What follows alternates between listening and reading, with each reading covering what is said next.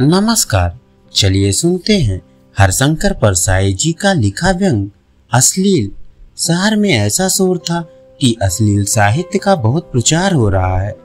अखबारों में समाचार छपते कि सड़कों के किनारे खुलेआम अश्लील पुस्तकें बिक रही हैं। दस बारह उत्साही समाज सुधारक युवकों ने एक टोली बनाई और तय किया कि जहाँ भी मिलेगी ये पुस्तक, छीन लेंगे और उसकी सार्वजनिक होली जलाएँगे। उन्होंने एक दुकान पर छापा मारकर 20-25 अश्लील पुस्तकें हाथों में की। हर के पास दो या तीन किताबें थीं। मुखिया ने कहा, आज तो देर हो गई।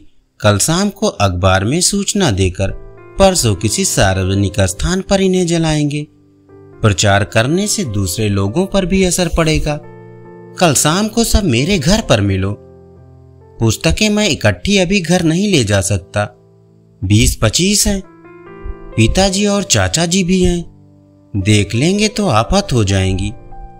एक एक दो दो पुस्तकें तुम लोग छिपा कर घर ले जाओ। कल शाम को ले आना। दूसरे दिन शाम को सब मिले, पर किताबें कोई नहीं लाया था। मुखिया ने कहा, किताबें दो तो मैं इस बोरे में छिपा कर रख दूँ, फिर कल जलाने की जगह बोरा ले चलेंगे। किताब कोई लाया नहीं था। एक ने कहा कल नहीं परसों जलाना। पढ़ तो लें दूसरे ने कहा, अभी हम पढ़ रहे हैं। किताबों को दो तीन दिन बाद जला देना। अब तो किताबें जब्त ही कर ली है। उस दिन जलाने का कार्यक्रम नहीं बन सका। तीसरे दिन फिर किताबें लेकर मिलने का तय हुआ। तीसरे दिन भी कोई किताब नहीं लाया। एक ने कहा, अरे यार, फादर के हाथ किताबें पड़ गई। वे पढ़ रहे हैं। दूसरे ने कहा, अंकिल, पढ़ लें? तब ले आऊँगा। तीसरे ने कहा, भाभी उठा कर ले गई।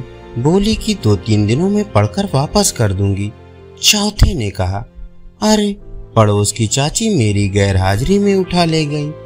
पढ़ लें तो दो तीन दिन में जला देंगे। अश्लील पुस्तकें कभी नहीं जलाई गई।